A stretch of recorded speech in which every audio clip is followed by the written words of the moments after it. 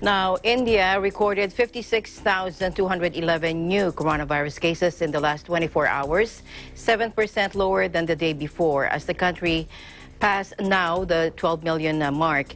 Earlier, we were able to talk to Philippine Ambassador to India, the uh, Honorable Ramon Bagat Singh Jr., and he gave us an update on the situation of our Filipino community there, plus more.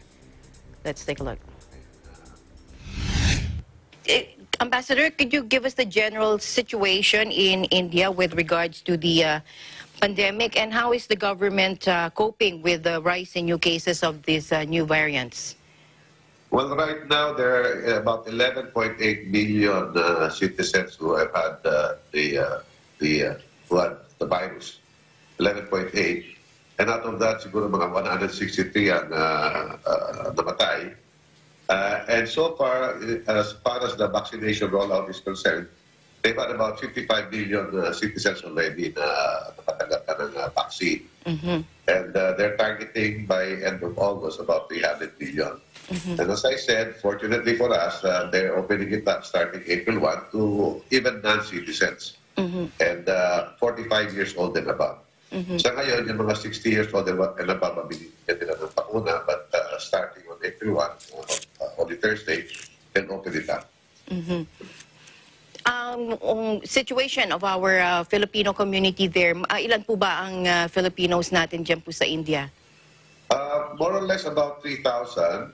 And uh, most of them, 80% are uh, housewives. Ito yung mga kababayan natin na napangasawa, mga Indians. No? Mostly uh, what we call Middle East romances or some of them uh, uh, internet or media. And uh, fortunately again for us, uh, oh, isa lang ang uh, may napisala sa atin na kababayan natin. Uh, last year pa, nung uh, nag-umpisa ang, uh, ang pandemic. But since that time, uh, we have not any any deaths no, na Filipino. And uh, as I said, we're very lucky na all of them are safe, uh, they're sound, they're healthy, and uh, they can avail of the vaccine once this is uh, available uh, the- to to everybody, you know, starting April 1. Uh, swerte tayo na wala, walang kababayan tayo ditong tinamaan ng seryoso. Is it for free po, the vaccines?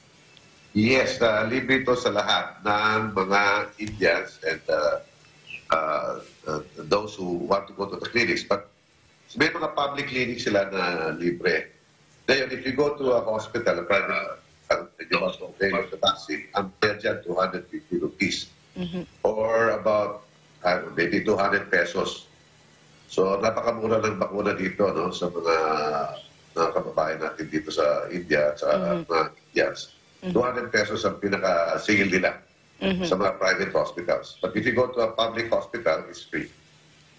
Uh, developed sa atin. At isang magandang issue dito sa atin, Alma, is that at karangalan natin to, dahil yung head ng WHO dito sa India ay Pilipino, si Dr. Mm. Reed. So, yung mga kinikwento niya sa amin, uh, ano dapat gawin, ano hindi dapat gawin, Yes. ay nakaka, ika na nakaka-scoop tayo ang Filipino community dahil uh, Pilipino nga ang head. No? Karangalan natin yan, mo, buong India. Indeed. Yes, sir. Yeah, with 1.3 billion people uh, uh, at the vaccine capital of the world, uh, Yes. Filipino. Kasi yung mga vaccines na pinamimigay sa buong mundo, India is the biggest, uh, ika nga, vaccine capital of the world. Yes. We, India produces at least 50 to 60 percent of all the vaccines in the world. Yung Serum Institute of India, uh, yan ang gumagawa ng AstraZeneca, uh, they produce 60-70 percent of the vaccines. No? Uh, and uh, yung uh, para biotech, uh, they, they're rolling out also their own local, their local version sila. And uh, yung local version, Covaxin ang tawag, out of the 55 million administered dito sa India, 50 million is yung AstraZeneca. O may, may local brand din sila tawag dito, Covishield. 5 million dyan yung gawa ng India, which is called Covaxin. And we're both working na itong mga bakuna na ito ay ma, ma, maidala dyan sa Pilipinas. Mhm. Yes. Si Sec- yeah, Yes. Secretary, Yeah. yeah, pumunta dito. Uh, se- second, March 9 to 12. Uh-huh. Wala magpirma ng kontrata para sa Novavax. Yung isang isang bakuna para gagawin ng India. Mhm. So you mentioned about yes, you mentioned about Covaxin. Actually, a presidential advisor for entrepreneurship, Joey Concepcion, said the private sector is expected to receive uh, 1 million doses of India's uh, Covaxin this April, Ambassador. Yes, Alma, uh, if we're lucky, uh, awan ng Diyos, makuha yung EUA dyan magmula sa FDA, no? Pag makuha yan next week, uh, then they can uh, start exporting there. At ang, uh, ang ating nilalakad ngayon with the help of uh, Joey Concepcion, as you mentioned, and Ambassador Comaran, yung Ambassador ng India sa Pilipinas, we're working on 8 million doses Oh, coming from Bharat Biotech. yes. I said, if we get all the approvals from the FDA, uh, hopefully, baka Mayo, may dumating na dyan ng mga 8 million. Hindi naman sabay yung 8 million eh. Mga tranches yan, Tranches, siguro yes. ang tranche, mga 600,000. And the second tranche will be about 2, 3 million. Up to the end of the year, we're working at 8 for 8 million doses. And uh, as I said, if we're lucky, baka madagdagan pa yan. Ang You- importante is, makuha Yes. natin yung mga approvals. Yes. You mentioned also about uh, the uh, Barrett Biotech's Covaxin. Uh, in its phase 3 trials, uh, it demonstrated 81% interim efficacy in preventing the coronavirus in those without prior infection after the second dose. Actually, the price is still being uh, negotiated. Can you tell us more about this uh, exciting development that you mentioned, Ambassador? Yes, uh, uh, as I said, uh, masipag ito si Joey Concepcion, yung kanyang negosyo, no? And uh, nagkaroon na kami ng webinar noon uh, to talk with the private sector that this is a very safe vaccine, no less than the President of, uh, of the Prime Minister and President of India, si Prime Minister Modi, at saka si President Komin, ay nag-take nito at yung mga karamihan ng kanyang mga cabinet uh, uh, secretaries. So itong ni-roll out nila and uh, maganda naman ang uh, feedback. Walang mga serious adverse effects. Uh, and uh, kaya nga, ang dami pumipila ngayon na bansa na uh, mm po vaccine. Kaya na, nakapila tayo. Eh, Ang importante, makadesisyon na tayo ngayon para mapatalan at as soon as possible time. And as I said, if we're lucky, 8 million yan, it's going to be a tripartite agreement. Maraming mga LGUs na nakalista doon at saka mga korporasyon na nakalista doon. Ah, mapadala dyan, di okay na. Kung sakali swerte pa tayo, makahingi tayo ng donasyon, mga isang mm libo or whatever. So, but this is purely uh, a public-private partnership, uh, including the LGUs. And the feedback has been very favorable. Sa mga nakakausap ko dito, mga Indian na nakakuha ng Co- Covaxin, wala na daw silang sinasabi serious adverse effects. No? So, we're okay with that. So from a positive perspective, India, no, despite a uh, sudden rise in cases, is confident in its vaccination program. It is um, even exporting vaccines with a high efficacy rate. No, no po.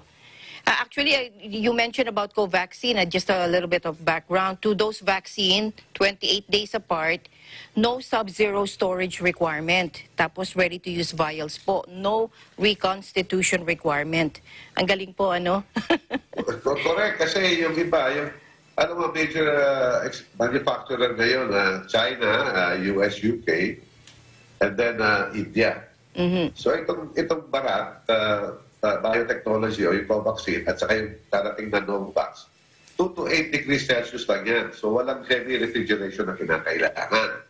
So mas Okay. madaling i-handle. Opo. No? Uh, two doses, as you said, uh, it can be 28 days, but uh, uh, in some instances, it can be uh, three, uh, it can be uh, four weeks, no, one month, no, or, or more. But uh, uh, as I said, wala masyadong side, serious side effect. At saka mura. Compared to the others, uh, compared to the others, it's, it's cheaper. Uh, so, eh, tahimik na tayo dito nagtatrabaho. Ang importante kasi mapadala na dyan. Eh. Ang importante tumating dyan at ma- ma-jab sa ating mga shoulders. Mm-mm. Um, may iba po tayo sandali. Um, how are the uh, travel restrictions and uh, inbound and outbound India po? Napaka-stricto, Alma. Napaka-stricto, no? Uh, same, same thing, Philippines and India, uh, hindi pwede mga turista. Okay? Very strict sila. The usual exemptions lang, ang mga diplomats, medical workers, emergency, seafarers. So yung mga Pilipino gusto pumunta dito, kung maging turista lang, we discourage that. At hindi sila nagbibigay ng visa. So ang India hindi nagbibigay ng visa sa mga Pilipino maging turista dito. The way, ang mga Indians na gusto pumunta sa Pilipinas na maging turista lang, hindi pa pwede. So, hindi pa pwede yan. No? Uh, except for essential workers. So, the... And then, ang hirap pa dyan, uh, even if you can get a visa, which is very difficult, ang hirap dyan yung commercial flights. Wala pa rin tayong commercial flights between India and the Philippines, except through the Middle East, Mhm.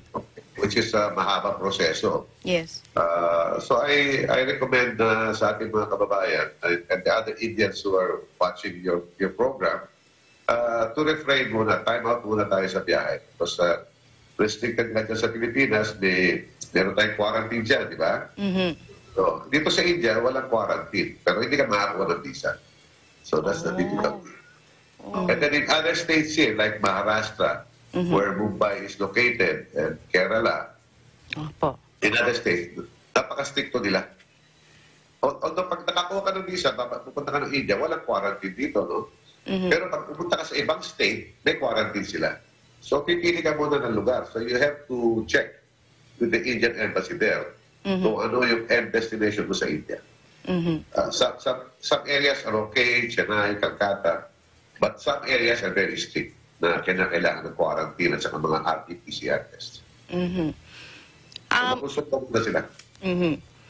How would you compare po yung uh, lockdown measures dyan dito po sa atin sa Pilipinas? Like recently, as you saw earlier, President Duterte just uh, uh, retained the uh, uh, ECQ measures. We went back to EC, ECQ uh, lockdown again in some areas, uh, major areas. Uh, dyan po sa India, how would you compare it po? Well, nakikita nga sa mga pinalalabas yung mga videos, no? Medyo dito sa Delhi, New Delhi, hindi masyadong stricto. Mhm. Okay? Pero doon sa sinabi ko mga lugar na talagang strict lockdown, talagang very strict, may curfew. Hindi ka pwedeng lumabas, uhulihin ka ng pulis. Okay? Uh, and and, and uh, ano rin, uh, mga unang mga pictures ng mga simula, eh, yung pinapalo ng uh, yantok. yung mga matitigas sa ulo, di ba? So, so may mga ganun sitwasyon noon. Pero ngayon, wala na. Wala na ngayon. But uh, pulihin ka lang at pagkakalitan ka. Tapos mayroon mga ibang lumalabas ka na sa social media, isasakay ka doon sa sasakyan na may mga COVID positive. So, nakakatakutan, di ba? So, meron silang mga out-of-the-box uh, situations or uh, remedies. But right now, uh, the, the people are following naman. Mhm. Ah, sumusunod naman ng mga kababayan dito. Dahil takutan rin sila magkasakit. Mhm. Al- Although, as I said, yung, yung death rate dito, napakababa, less than 1%. Aha. Okay, Ambassador, mabalik po tayo sa travel. Meron lang po akong itatanong. In August, there were special flights between India and the Philippines. And meron po bang ibang na-arrange na ganitong flights? If ever, what are the essential reasons for travel po? Well, we were able to lobby with the Indian government na tawag na siya yung Bante Bharat Mission. Kasi nung umpisa ng, ah, ah, ng pandemic, uh, May, June, July last year, ang daming standard na Pilipino dito na sumuwi sa atin and vice versa. Mas Opo. maraming Indians na na-standard dyan. Maraming Indian students dyan eh. Opo. Okay? So we were able to lobby with the India, Air India, yung uh, airlines ng uh, Indian government. So nagkaroon sila ng Bande Bharat Mission. And with that, we were able to repatriate more than a thousand Filipinos, no? Uh, from here, going to Manila, plus yung mga ibang chartered flights na nakuha ko sa ibang uh, Indigo or SpiceJet. So marami tayong Pilipino na pauwi sa Pilipinas at uh, vice versa, marami din mga Indians na nakauwi dito. Ngayon, uh, tinigil nila yan because of this spike nga. With the last flight we had was, uh, I think, uh, uh, first week of February this year. Mm. Pagkatapos no, natigil na. So we would have chartered flights. May mga Filipino Indians dyan na nakausap ng ibang travel agency at saka Indigo. Mhm. And they were able to arrange chartered flights. Mhm. Uh, but uh, tinigil yan itong February tapos na, na-cancel nga yung mga scheduled flights this March. Mhm. So we hope that when the situation improves, kasi nag-order ang Indian government na no commercial flights uh, unless you get an exemption from their Ministry of Aviation, Civil Aviation. And uh, they gave the that uh, they, they gave the period of up April 31 or 30 So, tapusin natin itong April and then hopefully we will be able to organize again chartered flights. Alright, maraming maraming salamat po for your time, Ambassador. Baka meron ho kayong ah, huling mensahe sa mga nanonood po sa inyo ngayon. Well, ang importante, Alma, is all of us, whether you're in India or in the Philippines, uh, stay safe. If there is any vaccine available, do take it right away. Uh, huwag na natin hintayin na may mangyari pa. And uh, mag-ingat lang po tayo dahil uh, uh, delikado po ang sitwasyon both in India and the Philippines. At maraming salamat sa pagkakataon na ibinigay niyo sa akin ngayon para makaano upang paalad ang ating mga kababayan at sana makarating sa mga kababayan natin dyan, kung meron silang mga kaibigan, kamag-anak sa India, uh, just keep in, get in touch with me and we'll do whatever we can to help them. Maraming salamat sa iyo, Alma.